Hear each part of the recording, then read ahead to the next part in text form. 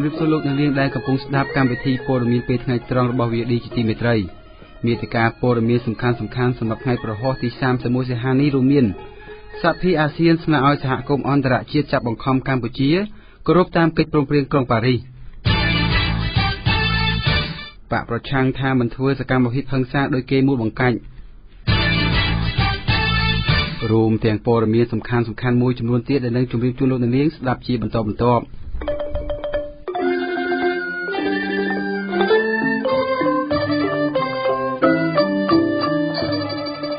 ខ្ញុំបាទពេជ្រចម្រុងសូមជូនព័ត៌មានពិស្ដាសមាជិកសភាអាស៊ានអំពាវនាវឲ្យសហគមន៍អន្តរជាតិចាត់បង្ខំរដ្ឋាភិបាលកម្ពុជាឲ្យគោរពលទ្ធិប្រជាធិបតេយ្យនិងកិច្ចព្រមព្រៀងទីក្រុងប៉ារីសឡើងវិញ។ការអំពាវនាវនេះធ្វើឡើងបន្ទាប់ពីរដ្ឋាភិបាលកម្ពុជាបានបិទប្រព័ន្ធផ្សព្វផ្សាយឯករាជ្យមួយចំនួននិងបិទអង្គការ NDI ដែលធ្វើការលើកស្ទួយលទ្ធិប្រជាធិបតេយ្យនៅកម្ពុជាក្នុងសេចក្តីថ្លែងការណ៍ចេញផ្សាយនៅថ្ងៃប្រហោះនេះសមាជិកសភាអាស៊ានដើម្បីសិទ្ធិមនុស្សបានបង្ហាញក្តីបារម្ភ អំពីបញ្ហាសិទ្ធិមនុស្សនិងលទ្ធិប្រជាធិបតេយ្យនៅកម្ពុជាដោយថារដ្ឋាភិបាល បានបើកការបង្ក្រាបលើបណ្ដាញសារព័ត៌មានឯករាជ្យនិងក្រុមអង្គការសង្គមស៊ីវិលព្រមទាំងបណ្ដេញបុគ្គលិកវិទ្យាស្ថានជាតិប្រជាធិបតេយ្យ NDI របស់អាមេរិកកាលពីពេលថ្មីថ្មីនេះសមាជិកសភាអាស៊ានដើម្បីសិទ្ធិមនុស្សអំពាវនាវទៅរដ្ឋជាសមាជិកនិងសហគមន៍អន្តរជាតិត្រូវបង្ខំរដ្ឋាភិបាលកម្ពុជាឲ្យបដិញ្ញាគោរពតាមលទ្ធិប្រជាធិបតេយ្យនិងសិទ្ធិមនុស្សឡើងវិញពិសេសគោលការណ៍ដែលមានចែង ក្នុងកិច្ចព្រមព្រៀងទីក្រុងប៉ារីសឆ្នាំ1991ប៉ុន្តែអ្នកនាំពាក្យគណៈបកប្រជាជនលោកសុកអេសានលើកឡើងថាចំណាត់ការថ្មីថ្មីនេះគឺរដ្ឋាភិបាលកំពុងពង្រឹងការអនុវត្តច្បាប់ទៅលើអង្គការសមាគមនិងបណ្ដាញសារព័ត៌មានបរទេសដែលលោកថាមិនមិនគោរពច្បាប់កម្ពុជាបានលោកនាងបន្ទាប់ពីមន្ត្រីជាន់ខ្ពស់រដ្ឋាភិបាលមួយរូបបានបង្ហើបថាក្រសួងមហាផ្ទៃមានគម្រោងស៊ើបអង្កេតប្រភពហិរញ្ញវត្ថុរបស់គណៈបកសង្គ្រោះជាតិពីបរទេស ដែលសារព័ត៌មានស្និទ្ធនឹងបកកណ្ដាលអំណាចចុះផ្សាយថាអ្នកផ្ដល់មូលនិធិនោះចង់ជំរុញបកប្រឆាំងផ្ដួលរលំរដ្ឋាភិបាលតាមរយៈការធ្វើបដិវត្តពណ៌ប៉ុន្តែគណៈបកប្រឆាំងបានចេញសេចក្តីថ្លែងការណ៍ច្រានចោលការចាត់ប្រកាសនេះលោកញឹមសខុនរីកាបន្ថែម គណៈបកប្រឆាំងអះអាងជាថ្មីទៀតថាគោលបំណងនៃការឡើងទៅកាន់អំណាចនៅឆ្នាំក្រោយមិនមែនបង្កើតផែនការហិង្សាដើម្បីផ្ដួលរំលំដៃគូប្រកួតដោយការចោទប្រកាន់នោះទេ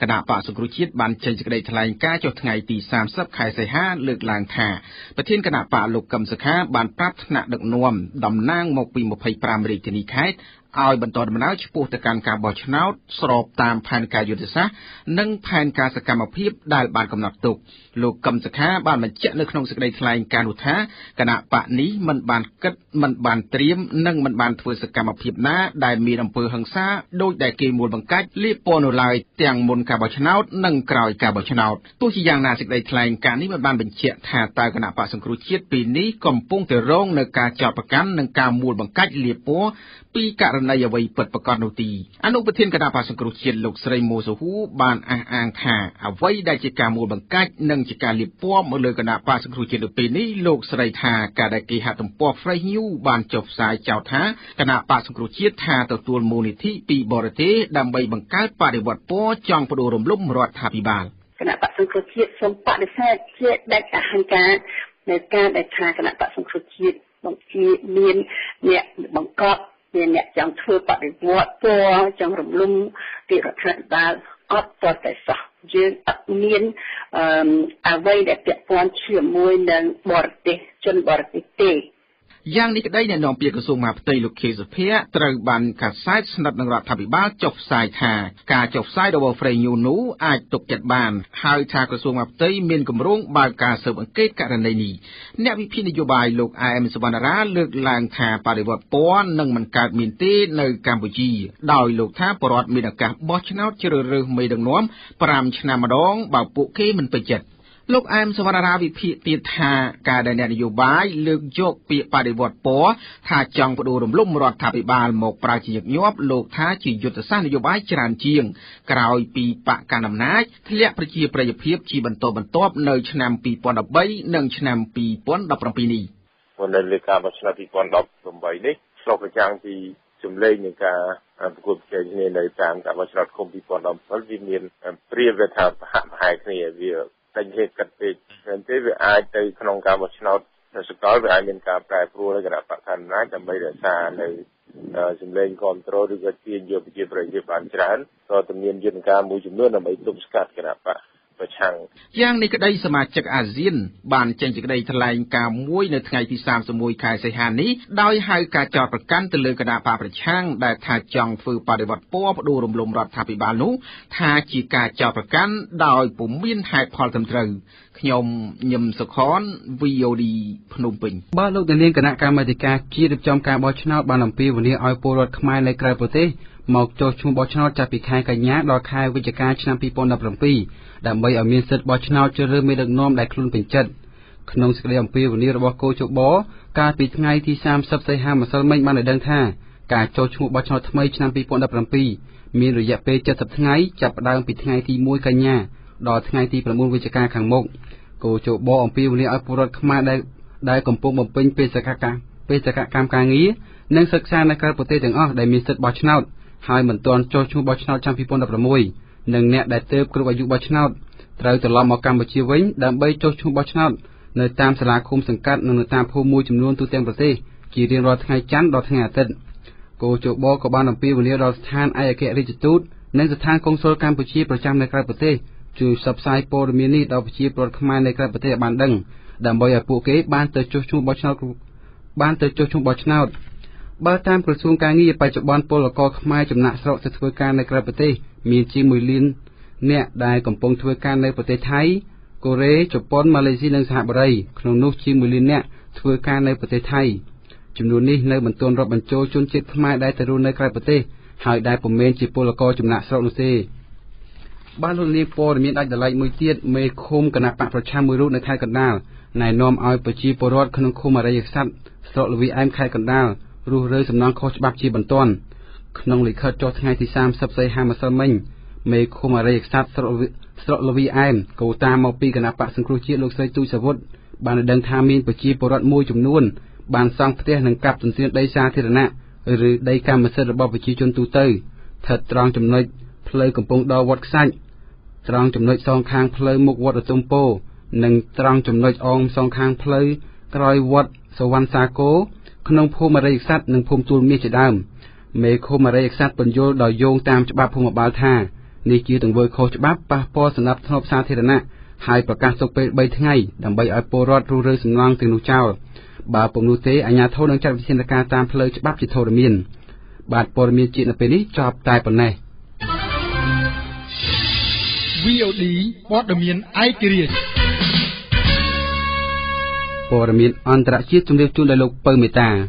ព័ត៌មានអន្តរជាតិចាប់ផ្ដើមចេញពីបញ្ហាប្រឈមនៅឧបទ្វីបកូរ៉េកូរ៉េខាងជើងបានប្រកាសថាខ្លួនកំពុងតែរៀបចំបាញ់មីស៊ីលជាច្រើនគ្រាប់បន្តបន្ទាប់ទៀតដែលរំលងប្រទេសជប៉ុនដដែលហើយផ្ដោតគោលដៅទៅរកមូលដ្ឋានទ័ពរបស់សហរដ្ឋអាមេរិកនៅកោះកាមខណៈដែលសហគមន៍អន្តរជាតិកំពុងតែថ្កោលទោសកូរ៉េខាងជើងពីការបាញ់មីស៊ីល កាលពីថ្ងៃអង្គារដើមសប្តាហ៍នេះមន្ត្រីជាន់ខ្ពស់របស់កូរ៉េខាងជើងបានថ្លែងប្រាប់សារព័ត៌មាន CNN ដោយបញ្ជាក់ថាមេដឹកនាំរបស់ពួកគេ គឺលោកគីមចុងអ៊ុនមានការពេញចិត្តយ៉ាងខ្លាំងចំពោះលទ្ធផលនៃការបាញ់សាកល្បងអាវុធមីស៊ីលរំលងប្រទេសជប៉ុនកាលពីថ្ងៃអង្គារហើយបានទៅចំគោលដៅដែលពួកគេចង់បាន ទីភ្នាក់ងារសារព័ត៌មានកណ្ដាលនៃរដ្ឋកូរ៉េខាងជើង KCNA បានចុះផ្សាយថា ការបាញ់មីស៊ីលរំលងប្រទេសជប៉ុន កាលពីថ្ងៃអង្គារនោះគឺជាជំហានទី1របស់ពួកគេ ហើយថាពួកគេកំពុងតែរៀបចំការបាញ់មីស៊ីលជាច្រើនគ្រាប់បន្តបន្ទាប់ទៀតដែលឆ្លងកាត់ប្រទេសជប៉ុនសំដៅទៅរកកោះកាម ជាមូលដ្ឋានទ័ពរបស់សហរដ្ឋអាមេរិកនៅមហាសមុទ្រប៉ាស៊ីហ្វិក សកម្មភាពរបស់កូរ៉េខាងជើងកំពុងតែធ្វើឲ្យសហរដ្ឋអាមេរិកនិងសម្ព័ន្ធមិត្តផ្សេងៗទៀតរួមទាំងជប៉ុននិងកូរ៉េខាងត្បូងមានការខឹងសម្បារហើយប្រកាសថានឹងឆ្លើយតបវិញដោយវិធានការតឹងរឹងបំផុតកាលពីព្រឹកថ្ងៃពុធម្សិលមិញសហរដ្ឋអាមេរិកក៏បានបាញ់សាកល្បងមីស៊ីលកម្រិតមធ្យមមួយនៅឆ្នេររដ្ឋហាវ៉ៃហើយមន្ត្រីអាមេរិកបានប្រាប់ CNN ទៀតថា ពួកគេរៀបចំបាញ់សាកល្បងមីស៊ីលកម្រិតវែងមួយទៀត មុនកូរ៉េខាងជើងបាញ់សាកល្បងជាថ្មី។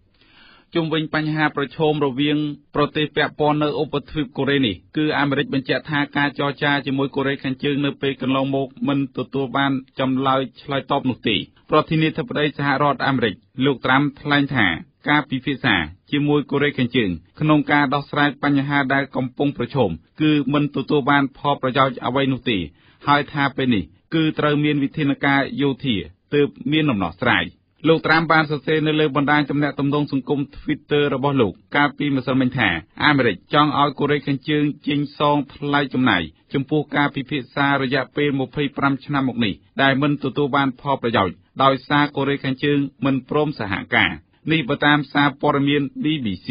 ទោះយ៉ាងណារដ្ឋមន្ត្រីការពារជាតិរបស់សហរដ្ឋអាមេរិកលោក James Mattis ថ្លែងថានៅក្នុងដំណើរស្វែងរកដំណោះស្រាយរបស់ក្រុមការងារជំនាញ នៅតែប្រើប្រាស់វិធីសាស្ត្រការទូតចំណែកឯរដ្ឋមន្ត្រីការបរទេសរបស់រុស្ស៊ីលោក Sergei Lavrov បានថ្លែងតាមទូរស័ព្ទប្រាប់រដ្ឋមន្ត្រីការបរទេសរបស់សហរដ្ឋអាមេរិកលោក Rex Tillerson ដោយថ្លែងបញ្ជាក់ថារុស្ស៊ីបានថ្កោលទោសយ៉ាងខ្លាំងចំពោះសកម្មភាពរបស់កូរ៉េខាងជើងក្នុងការបាញ់សាកល្បងមីស៊ីលជាបន្តបន្ទាប់នេះ ចំណែកព័ត៌មានអន្តរជាតិចុងក្រោយជុំវិញស្ថានភាពខ្យល់ព្យុះនៅសហរដ្ឋអាមេរិកខ្យល់ព្យុះ Harvey ដែលបានបោកបក់ខ្លាំងនៅភាគខាងកើតនិងភាគខាងត្បូងនៃរដ្ឋតិចសាសរបស់សហរដ្ឋអាមេរិកកាលពីសប្តាហ៍មុនបានបន្តបោកបក់ទៅកាន់រដ្ឋ Louisiana នាំឲ្យមនុស្សជាច្រើនអ្នកត្រូវបានជម្លៀសខ្លួនទៅរកកន្លែងមានសុវត្ថិភាព បន្ទាប់ពីខ្យល់ព្យុះនេះធ្វើឲ្យពលរដ្ឋនៅរដ្ឋតិចសាសចំនួន25នាក់បានស្លាប់ និង17នាក់ផ្សេងទៀតបានបាត់ខ្លួនព្យុះនិងភ្លៀងបានបណ្ដាលឲ្យមនុស្សចំនួន32,000នាក់នៅរដ្ឋតិចសាសត្រូវបានជម្លៀសចេញទៅរកទីកន្លែងមានសុវត្ថិភាពជាបណ្ដោះអាសន្នហើយកាលពីថ្ងៃពុធម្សិលមិញព្យុះនេះបានបន្តបោកបក់ទៅកាន់ទីក្រុង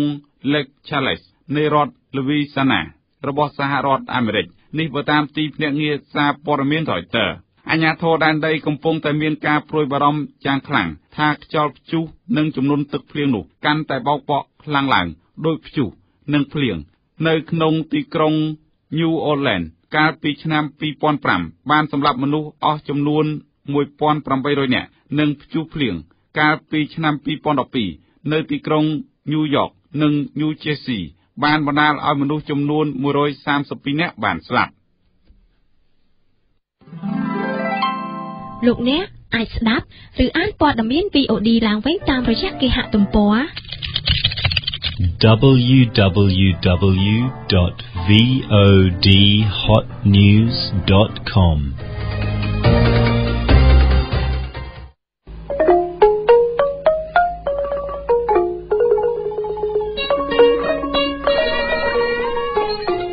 លោកដានីស្ដាប់ជាទីមេត្រីកម្មវិធីព័ត៌មានពេលថ្ងៃត្រង់របស់ VOD ដែលបានផ្សាយជូនលោកដានីស្ដាប់នៅពេលនេះចប់តែប៉ុណ្ណេះសូមលោកដានីរងចាំស្ដាប់ព័ត៌មានខ្លីជារៀងរាល់ម៉ោងនិងព័ត៌មានពេលល្ងាចរបស់ VOD ខ្ញុំបាទពេជ្រចម្រុងរួមទាំងសហការីទាំងអស់សូមអរគុណនិងសូមជម្រាបលា